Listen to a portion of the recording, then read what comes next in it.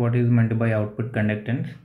So output conductance is something which is denoted with GDS. It is defined as a ratio of change in output current IDS with respect to change in output voltage VDS. Whereas here VGS is kept as constant. So as we already know, IDS is an output quantity. IDS is an output quantity which is current and two more quantities are there VGS and VDS so VGS is input voltage, VDS is output voltage. Now similar to the transconductance which we have derived, here also we need to know about the current equations in both saturation as well as linear region. So let me start with linear region. So in linear region we know that IDS is mu n Cox W by L VGS minus VTH into VDS minus VDS square by 2. So this is what we know. Now we have to differentiate this particular equation number 1 with respect to VDS. So that I'll get output GDS. So it is differentiating IDS with respect to VDS. Here let me write it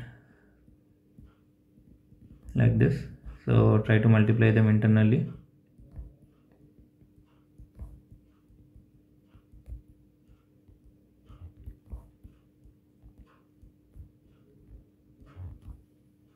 So GDS is differentiating IDS with respect to VDS now mu n Cox W by L is again the same thing.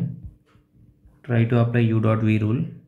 Here VGS is kept constant and differentiation of this will be 1 plus VDS into 0 minus VTH is constant. Differentiating with respect to VDS will be 1 plus VDS into 0 minus VDS square by 2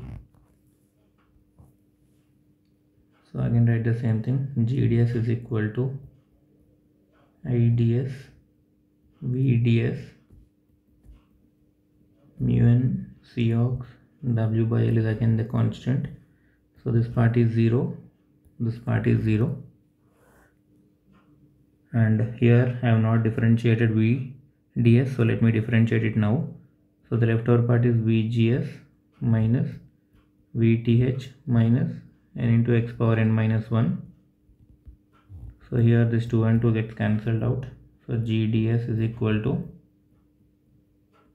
IDS VDS this one will be mu n Cox W by L VGS minus VTH minus VDS so if you want you can differentiate within this particular line itself.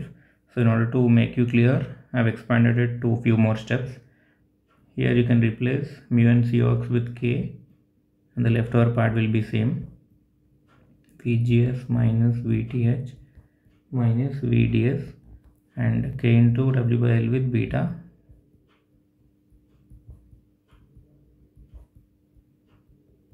So all these three relations are correct for output conductance GDS this is for linear region now let us do it for saturation region so in saturation region we know that IDS is equal to mu n Cox W by L VGS minus VTH whole square by 2.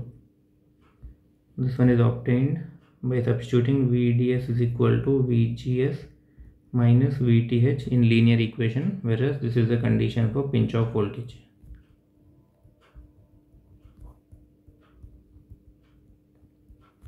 So to get GDS simply differentiate IDS with respect to VDS.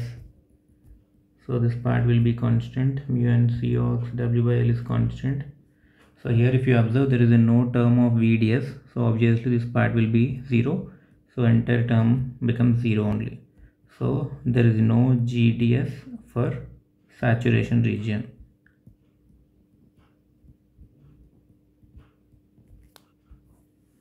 whereas for linear region we got GDS as mu n Cox W by L VGS minus VTH minus VDS so this was the answer which we got for linear region